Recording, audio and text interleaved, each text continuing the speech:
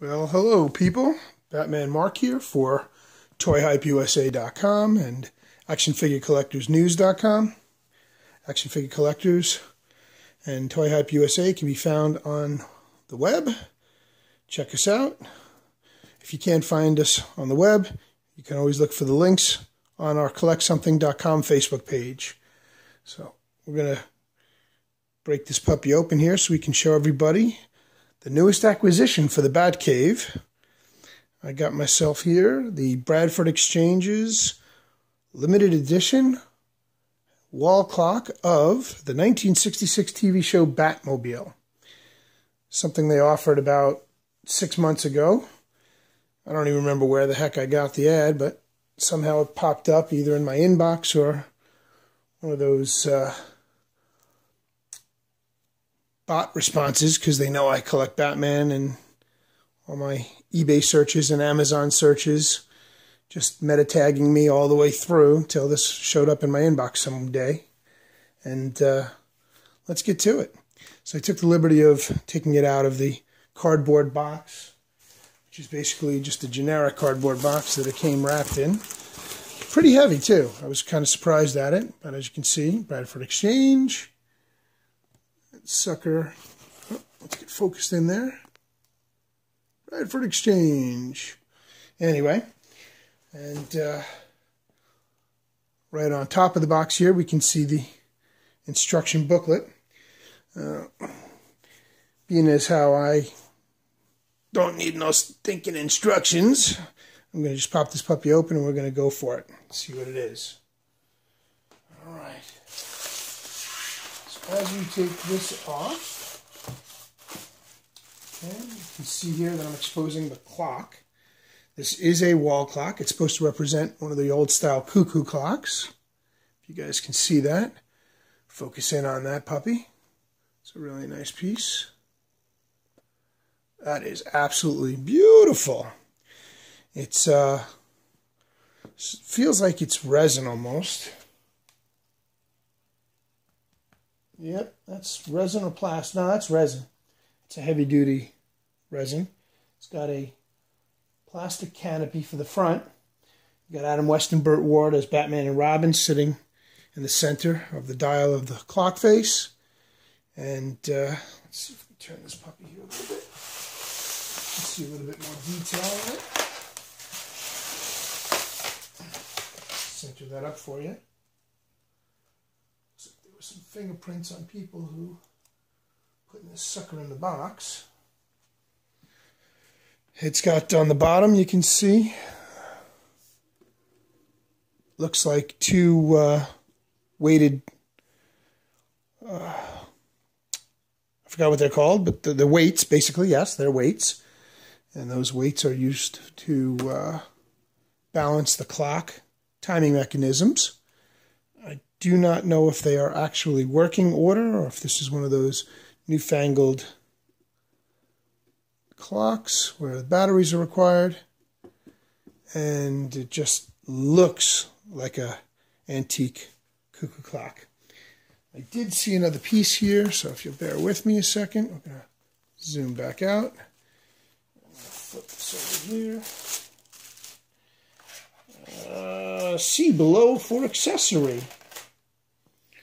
Going to take that off. Put that over here. Oh, look at that. The pendulum. Oh, I remember now. Very cool. So this is the bat pendulum. It's supposed to go, I guess, somehow behind it. Turn it over. Looks like it's uh, got a little bit of weighted brass panel in the back. There's your 66 TV show bat emblem. Used to spin you out or spin you into the different scenes on the show. A little dusty there, but very cool nonetheless. All right, let's see if we can get this puppy opened. Leave this right here for now. We'll try to attach it later. And pull this back open again. Stuff to the tape. We should just keep it off altogether.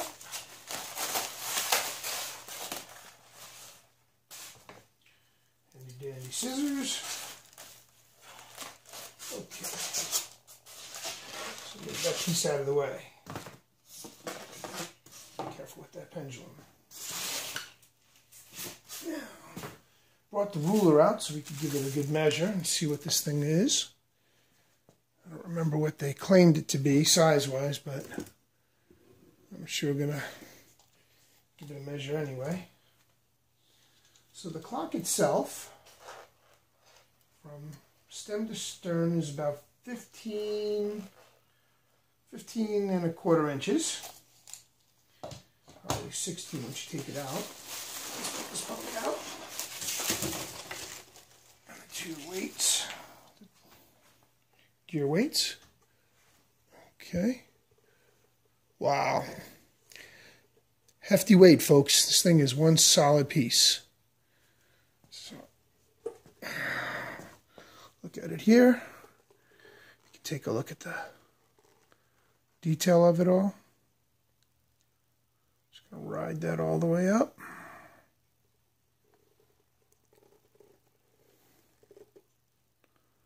Very cool.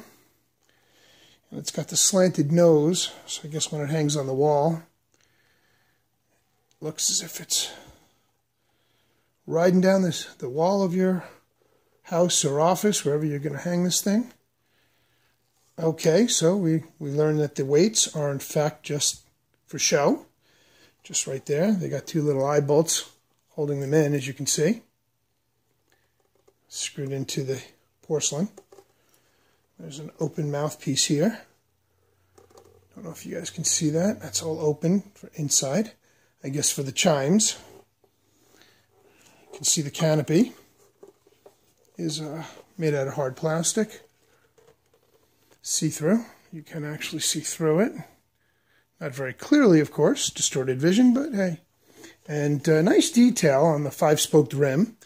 The old Cragar style rims, as you can see. And it does have the bat emblem in it, in the center. Very cool. It's got uh, some pretty cool tail lights action going on back here. So we're going to turn it around a little. And show you the tail action. Whoop. Bang the camera, why don't you? So it's got the parachute packs on each side of the exhaust flamethrower out the back see that detail-wise. Really nice. It's got extended taillights, which gives it that action driving feel. As it probably looks like it's got LED lights in them. Very cool. As we come around to the other side of the Batmobile, same five-spoked Cragar style rims with the red bat emblem. And it's got, if you notice here, two round buttons and an on-off switch. Not sure what they're for yet. We haven't read the instructions. Remember, guys, we don't need no stinking instructions. But I'm guessing one of these is an on-off switch. One of them works the lights. Maybe that runs the time. I guess it looks like a dial. Um, something, it spins. Maybe that's the volume control for the chimes. We don't know yet because we didn't read the instructions. Really nice feature. It's got the 66 Batman emblem from the TV show. There's another hard lacquered piece going on top of the hood of the Batmobile there. It looks like these are almost see-through. So there might be some lighting in there. Don't know yet. We'll find out a little bit. But right now I'm going to turn this puppy over and see what it says. Very carefully now, Batman. Very carefully. Okay, here we go. Bradford Exchange logo. All right.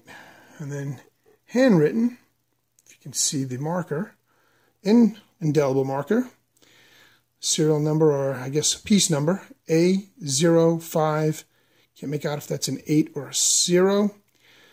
And then number 8 on the, again. So it looks like it's uh, 0588 or 05 08.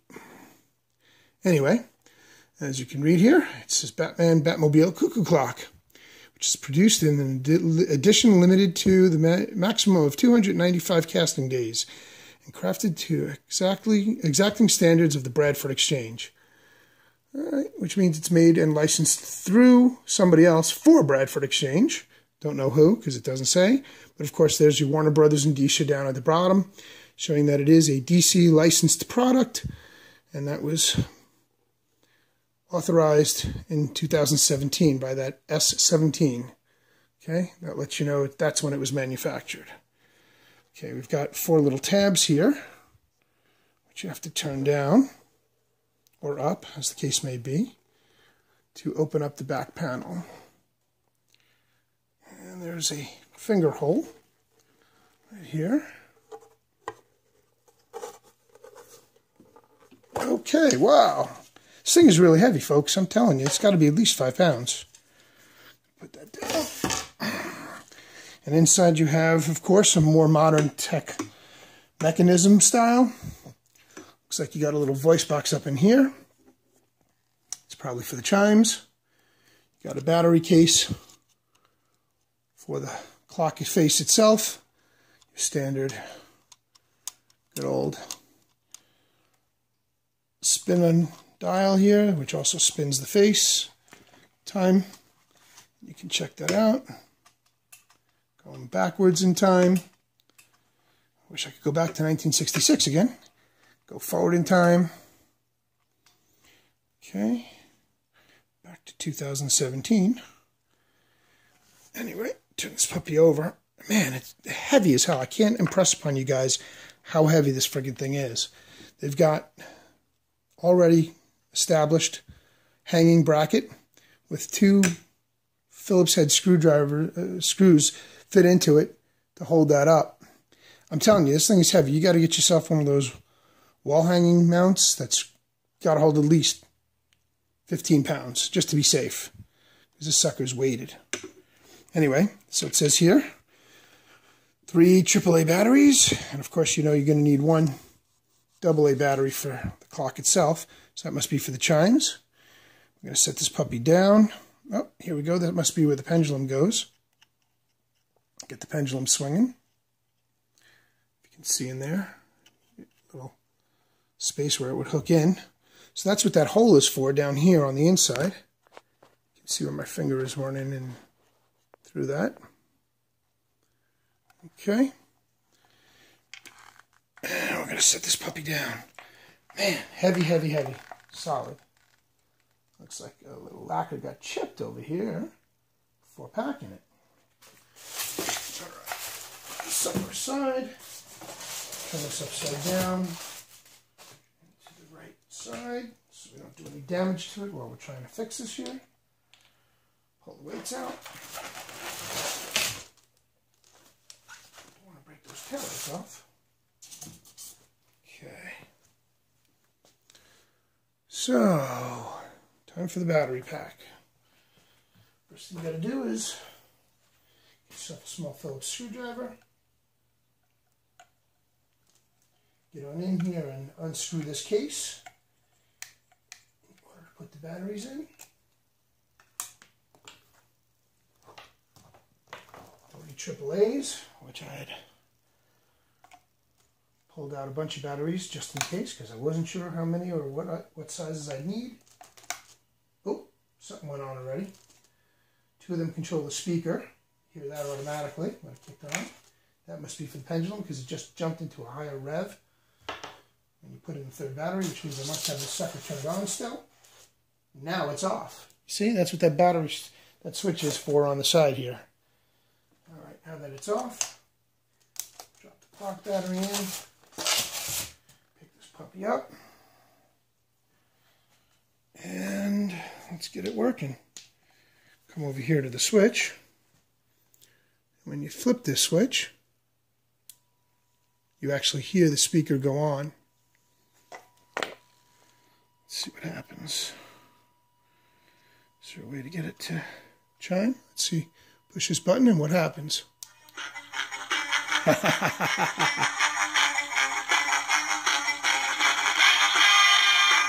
So imagine this puppy hanging on your wall, and at the stroke of each hour, that's going off.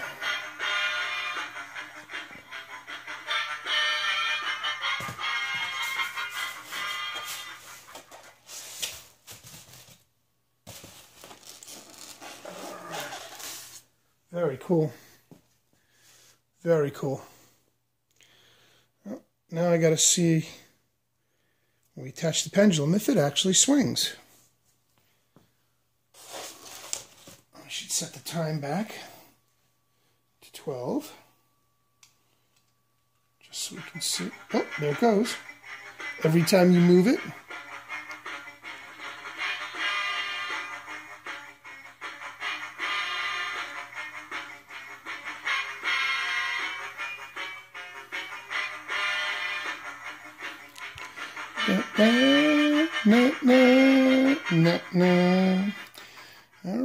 so it plays. You can hear it.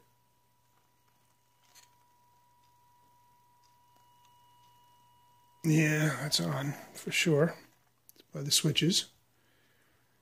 This one, I guess, is for the pendulum. Being that it turns. I'm guessing. Oh, that's the volume control. Let's see. Let's try that again. Okay. Let's get that to chime. Let's turn the knob.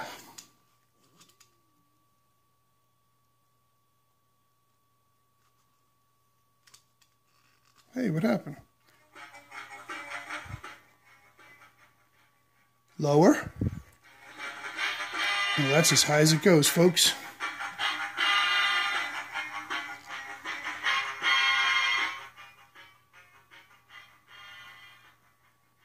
Turning it down.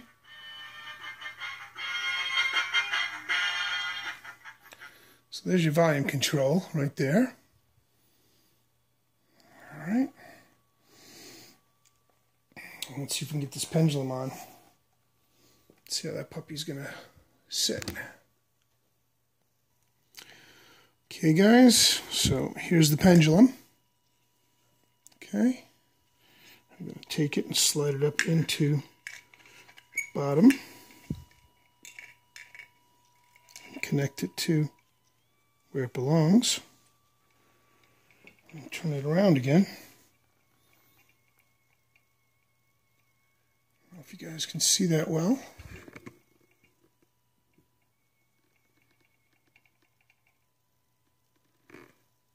And the pendulum swinging. It's not quite swinging yet.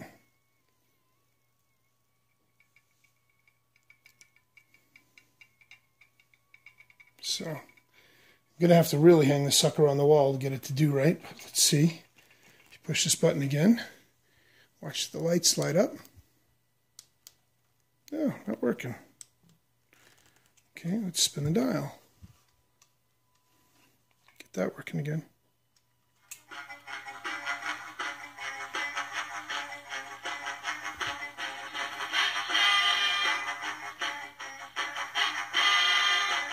There it goes, folks. It works.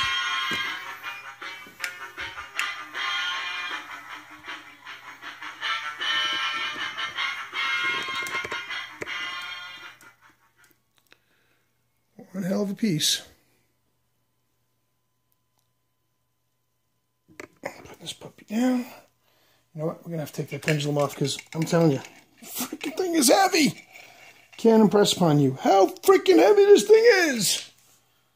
It is one heavy sucker. You know what? I'll turn this puppy off. Off. Because that whining is annoying me. that's one of the things I'm going to most hate about it. Is that uh, whining of the speaker box is going to continually persist if you leave the volume on, if you leave battery in for the speaker to work. I'm taking out these batteries now, just so I can close this puppy up. Okay, well, one's not coming out so easy. I'm just going to settle this puppy right back in here for a second.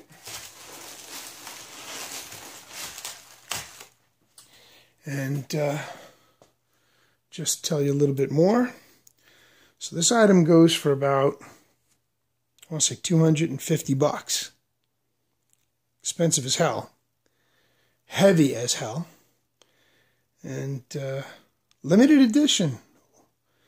I don't know how many of them are actually made, based on what they're telling us. Of course, they say they had a production not to exceed more than 295 casting days, which means they could have done 10 castings per day, or they could have done 50 castings per day in a period of 295 days. So, no clue as to how many pieces are actually out there. But mine is numbered 500 and something. So, we know at least there's 500 of them out there, 588, if we're reading those numbers correct. But uh, let me know what you think, guys. Leave some comments below. Check it out and uh, keep following us. www.toyhypeusa.com and www.actionfigurecollectors.com. Keep uh, checking back and go to our Facebook page, collectsomething.com on Facebook, and you can catch all these beautiful, wonderful new items that are coming out, and we'll post more videos for you. All right, guys, Batman Mark out. Have a fantastic day.